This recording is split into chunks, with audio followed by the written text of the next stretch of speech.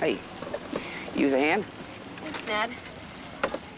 Heard two goons try to dust you guys. Oh, yeah, well, that's Irons family for you. We're regular danger magnets. Listen, Nikki, uh, there's something I gotta tell you. You're not gonna get sappy on me, are you? I'm not a real Mountie. Yeah? And? What do you mean, and? I just told you, I lied. You're not fooling me. I can sniff a phony across a whole parking lot. Really? Sweet. Plus, Cooker was just a hottie in a red uniform. Even though it is rented. Now look, I gotta go down to the harbor and make a delivery. You get your butt back inside. Yes, ma'am.